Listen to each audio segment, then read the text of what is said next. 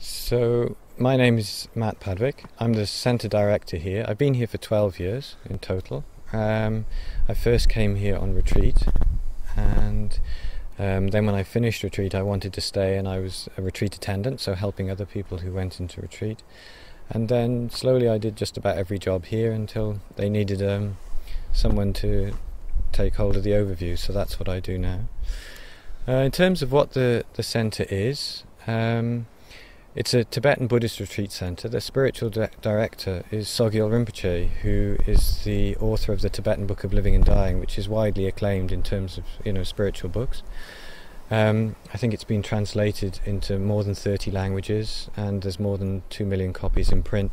So it's really found a niche. It's very relevant um, to the modern world, to men and women living, you know, modern lives.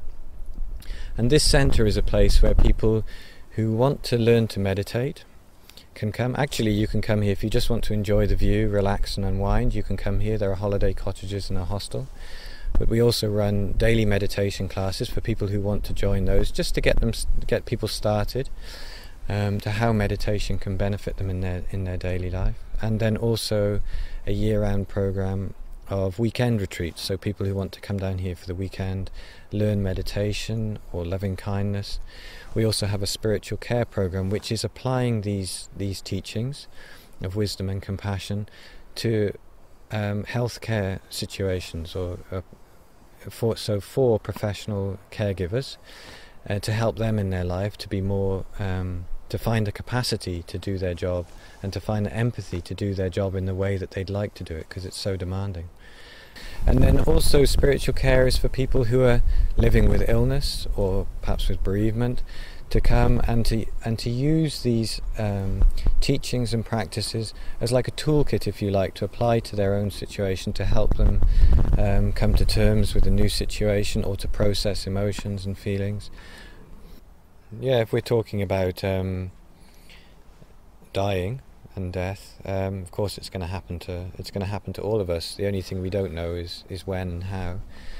Um, and I think maybe coming here, you would look a little bit more at your life and at your death and how you want to live your life and, and prepare for dying, and not at all in a morbid way, because actually, if you are ready for death, it means you're living well. Um, and I think we probably all of us know examples of people who have who have died um, in an inspiring way in the sense that they were ready, they were peaceful, and it left us feeling very inspired, um, confident, hopeful, good.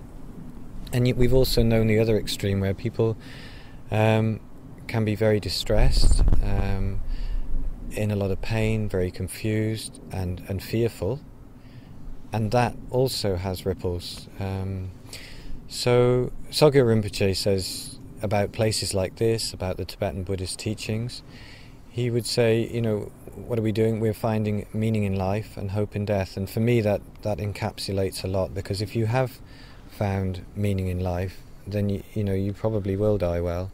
And if you die well, it probably is because you've you've found meaning in life. We do hear a really tremendously inspiring stories that make you believe that actually um, there's a lot going on here that is unseen um, and that death and dying is a, is perhaps a, a, hopeful place as well. It's definitely. Um, I heard it described once as, as the crossroads to eternity. You know, you sort of make your it, it it's tremendous potential, uh, tremendous possibilities.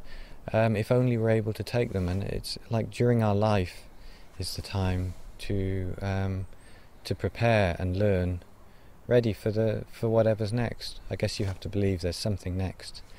Uh, for me, it's not difficult because our life, maybe it's a hundred years we live, but you know the history of the world and the future of the world it's eons in either direction. If it were that, re- if you do believe in reincarnation, if, then you know this is just a tiny hair's breadth of the complete whole. You know. So why dismiss everything that's gone before and why live your life as if there's nothing in the future, you know?